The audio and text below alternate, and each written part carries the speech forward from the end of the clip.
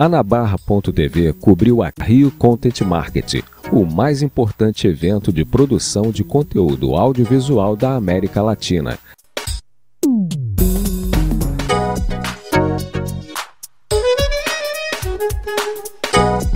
Todos sabem que a televisão está em processo de transformação em função das novas mídias, mas, juntamente com ela, a publicidade passa por mudanças. E foi o que Eco Moliterno, da Agência África, e Eduardo Leal, da Precious Media, mostraram em suas apresentações. Eu queria falar sobre alguns pontos uh, que são interessantes para qualquer um que tem interesse em criar uh, e distribuir conteúdo para marcas. Né? Eu queria começar falando sobre o Lego Movie, ou uma aventura Lego que é a Liseu Filmaço, de 2014. Ah, ele é provavelmente o maior exemplo recente de uma marca de bem de consumo tratando conteúdo ah, como investimento, não como custo. Né? Para Lego, ah, os riscos eram grandes, custou 60 milhões de dólares, e, mas os benefícios foram imensos. Além de uma receita de 600 milhões no cinema, a Lego foi considerada a marca mais poderosa do mundo em 2014 uh, pelo estudo da Brand Finance, aí, é, desbancando um longo, um longo reinado da Ferrari. Um, mas marcas são diferentes, né? nem todo mundo tem o mesmo interesse que a Lego tem em construir propriedade intelectual a longo prazo. Queria falar sobre a Red Bull, que é um fenômeno de brand content de há alguns anos. Esse é o projeto Stratos, né, que em 2013 a Red Bull jogou esse cara da estratosfera, o Felix Baumgartner, um que fez o maior salto livre da história da humanidade.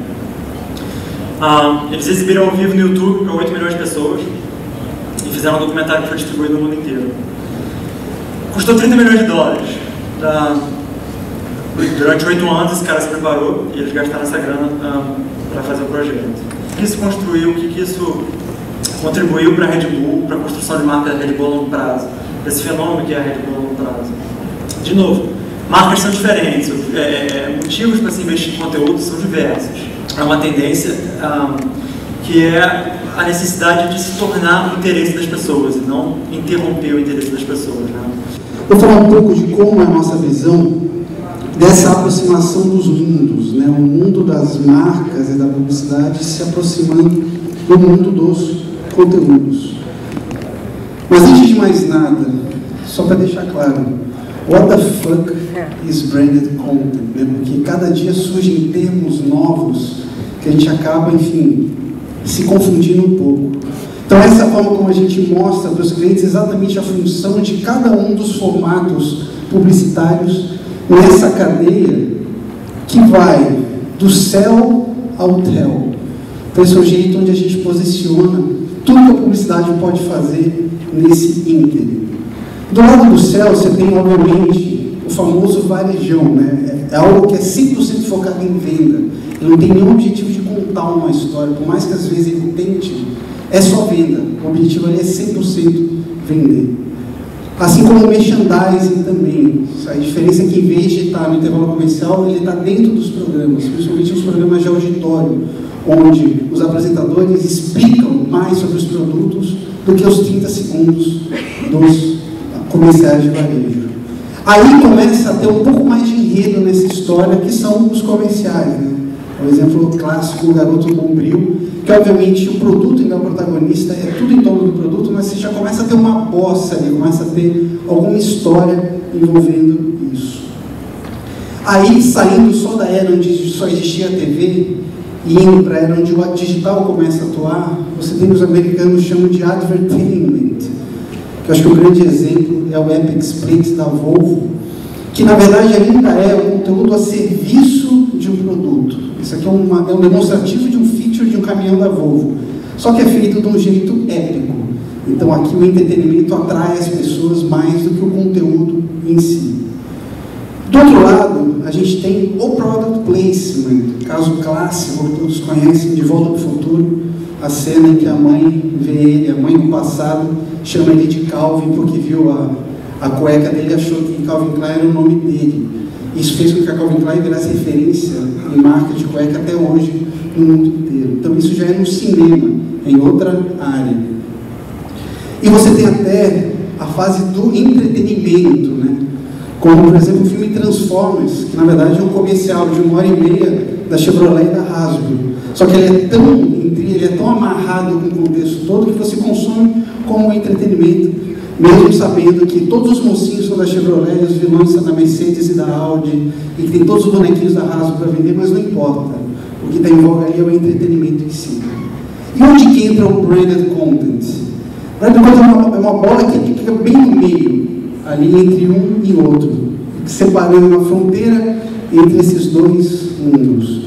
Que é o que Intel fez com o que exibiu Inside, por exemplo, que eu acho que a melhor definição é que um não existiria sem o outro. Um não a serviço do outro. Ambos têm os mesmos pesos, a marca e o conteúdo, juntos para fazer esse material. Ou seja, aqui é a divisão dos cenários, é onde entra o branded content. E qual a evolução para a gente? A gente sabe fazer o que está no lado esquerdo, que eu costumo falar que é os 100 metros rasos. A gente é velocista. Vocês, produtora, sabem fazer o lado direito, que é a maratona. Vocês são fundistas. E cada vez mais as marcas, elas têm, elas já sabem fazer, as marcas e agências já sabem fazer os 100 metros rasos. Agora elas têm que começar a correr maratonas. Se você pensar bem, quem corre maratona corre 100 metros. Pode não ser tão rápido, mas corre. Mas quem corre 100 metros rasos não consegue correr uma maratona. Então isso cada, mostra muito bem uma analogia que simboliza como os clientes e as agências têm que aprender muito com o lado das produtoras de conteúdo a fazer coisas de mais longo prazo onde você consegue ter um engajamento maior, você consegue criar conteúdos que sejam proprietários e que engajem cada vez mais o seu público nos seus produtos, nos seus serviços. Então eu acho que como visão de futuro, que já quase como uma visão de presente isso, né? Que você, você vê isso acontecendo, algumas marcas que já estão num estágio mais evoluído já colocam branded content como parte da sua estratégia. Sempre de uma forma complementar ao que elas já fazem. Porque não é que uma coisa vai substituir a outra, uma coisa vai se somar à outra. Então você ainda tem um impacto grande das mídias de massa, principalmente da TV, onde você atinge o Brasil inteiro de uma forma muito rápida, com uma inserção no horário nobre. Isso é um asset, um atributo que o Brasil tem, que quase nenhum país tem. Se você olhar os Estados Unidos, é um Super Bowl por ano. Aqui a gente tem isso quase toda noite, audiência num horário nobre de uma novela quase igual ao de um Super Bowl. Então isso a gente não pode abrir mão, que é uma conquista que a publicidade teve, mas ela tem que começar a olhar para um outro lado também, onde o engajamento a longo prazo vai acabar valendo mais do que contatos esporádicos de curto prazo. Então acho que essa junção vai fazer com que tudo se misture. Agências e produtoras passem a trabalhar mais juntos para encontrar uma solução única, porque não é mais eu crio uma coisa, passo o bastão e alguém produz. Não, acho que cada vez mais você tem que criar junto e produzir junto todo mundo trabalhando no início ao fim para que o resultado final seja melhor para o consumidor e para quem está envolvido nesse processo.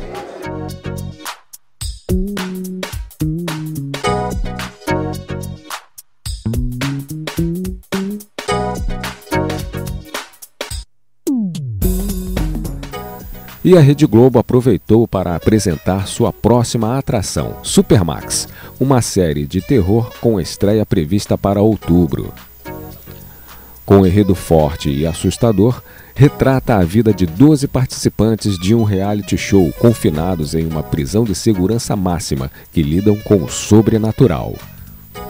No elenco estão Mariana Ximenes, Fabiana Gugli, Cléo Pires, Heron Cordeiro, Maria Clara Spinelli e Bruno Bellarmino. A direção é de José Alvarenga.